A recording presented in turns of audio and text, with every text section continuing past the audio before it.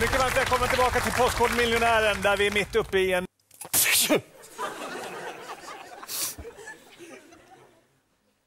Jag ber om ursäkt. Ja, livlinorna är slut. Vill du ta dina 2000 och gå? Att huvudstaden i Kirgizistan heter Bishkek. Och hos mig går inte hissen riktigt.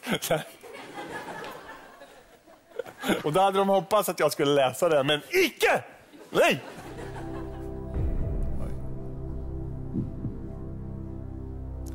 Är det fortfarande den här frågan?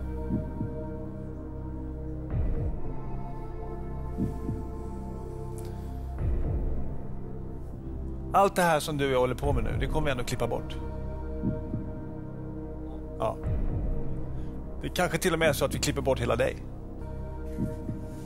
Hallå tjejer. Vill du eh, sitta i heta stolen? Tänker du på vad du äter där hemma? Och framför allt, känns det inte lite mörkt där jag står? Maggan! Undrar ni... Undrar, alldeles strax så tittar vi på... Eh, vad, vad tycker ni? Vad ska vi ta? Fångarna på fortet. Vi tar Fångarna på fortet. Det gör vi.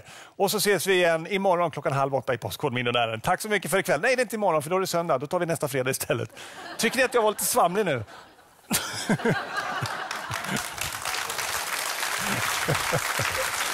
ja, ja, ja, ja.